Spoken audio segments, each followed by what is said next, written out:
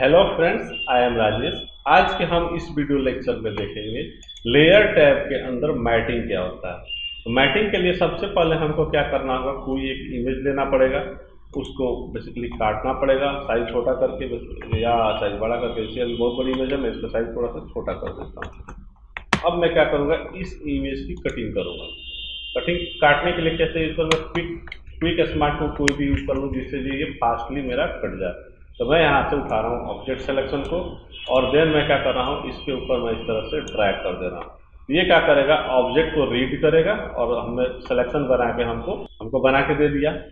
अब हमको इसमें क्या करना है, जब मैं इसको क्या करता हूँ, जब कॉपी कर लेता हूँ और किसी दूसरे पेज पर लेके आता हूँ। जैसे यहाँ लेके आ गया, एक पेज नया लिया और उस पर मैं आ गया बेसिकली अब मैं इसका क्या करता हूँ, थोड़ा सा विर्थ जो है ना, मैं बढ़ा देता हूँ।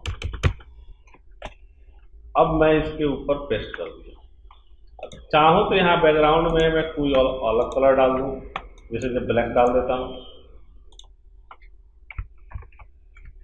अब इसमें बेसिकली क्या हो रहा है, जो जगह जगह बेसिकली कुछ वाइट पार्ट आ रहे हैं, कहीं साफ़ नहीं दिख रहा है, इस टाइप के कुछ आ रहे हैं इसमें।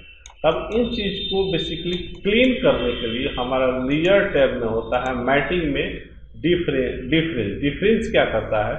जो, उतना ये क्या करेगा? या इसमें से ब्लैक मैटर रिमूव कर लीजिए या रिमूव व्हाइट मैटर उसके बाद हमको क्या करना है? जो लेयर वन को सिलेक्ट करना है और फिर लेयर में जाना है और यहाँ से मैटिंग में जाना है और डी फ्रिंज में क्लिक करना है। डी फ्रिंज में क्लिक करके अगर मैं इसकी वैल्यू दस करके ओके करूँ तो ये क्या करेगा? इसके एज को थोड़ा सा डी फ्रिंज कर दिया। बेसिकली डी फ्रिंज का मतलब ये ये ब्लैक के साथ इसको क्या किया? डिजॉल्व कर दिया यहाँ पर। इसको कहते हैं डी फ्रिंज मतलब या इसके अलावा इसमें और भी ऑप्शन आता है, जैसे जब मैटिंग पर क्लिक किया और ब्लैक मैटर रिमूव पर मैं क्लिक किया तो देखो यहाँ पर ब्लैक मैटर जो था वो रिमूव हुआ है। इसके बाद अगर मुझे व्हाइट मैटर रिमूव करना है तो यहाँ से लेयर में जाएँगे मैटिंग पर जाएँगे remove white matting white matting तो नहीं था, उसको नहीं रिमूव किया, लेकिन ब्लैक मैटिंग था, उसको क्या किया रिमूव कर दिया।